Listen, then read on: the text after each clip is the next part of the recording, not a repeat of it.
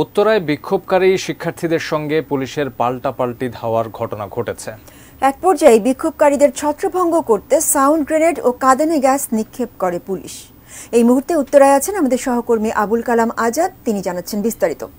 আজাদ আপনি তো আছেন উত্তরায়, আজকেও ধাওয়া পাল্টা ধাওয়ার ঘটনা ঘটেছে এবং সাউন্ড গ্রেনেড এবং কাঁদানে গ্যাস নিক্ষেপ করা হয়েছে। পরিস্থিতি কি এখনও অশান্ত? এখানে কিছুটা গুড়ি গুড়ি বৃষ্টি হচ্ছে, বলা যায় উর্মি। আমি প্রায় দশ পনেরো মিনিটের মতো এই এলাকাটিতে অবস্থান করছি। যদ্দূর জানতে পেরেছি, আশপাশের লোকজনের সঙ্গে কথা বলে জমজম টাওয়ার বা এর আশপাশে দু একটি গলিতে বলা যায় যে কিছুটা মানে সংঘর্ষের পরে আইনশৃঙ্খলা বাহিনীর সঙ্গে সেখানে ধাওয়া, পাল্টা ধাওয়ার যে পরিস্থিতিটি রয়েছে, সেটি এখনও পর্যন্ত থেমে থেমে হচ্ছে কোনো কোনো গলিতে।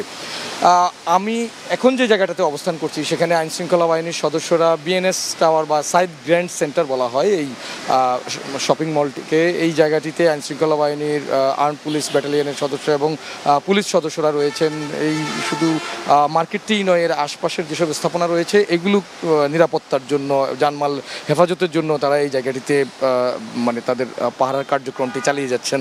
রাষ্ট্রীয় দায়িত্বের অংশ হিসেবে। অপরদিকে আমরা এর আগে আরেকটি পেছনে যে বাস স্টপেজটি ছিল, সেই জায়গাটিতে মিনিট দশেক আগে সেখানে আমরা দেখলাম যে এক জনতার দুটি গ্রুপ বিভক্ত হয়ে সেই জায়গাটিতে তারা কিছুটা বিক্ষোভ করছেন তাদের হাতে লাঠিসোঁটা, এই বিষয়গুলো দেখা গেছে। অপরদিকে বিজিবির প্রায় চার পাঁচটি গাড়ি সেগুলোতে করে বিজিবি সদস্যরা তারা সশস্ত্র অবস্থায় তাদের যে পেট্রোল টিম রয়েছে তারা এখানে টহল দিচ্ছেন। তো মোদ্দা কথা এখনও বলা যায় যে এই এলাকার পরিস্থিতি এখনও পর্যন্ত মানে থমথমে অবস্থায় রয়েছে।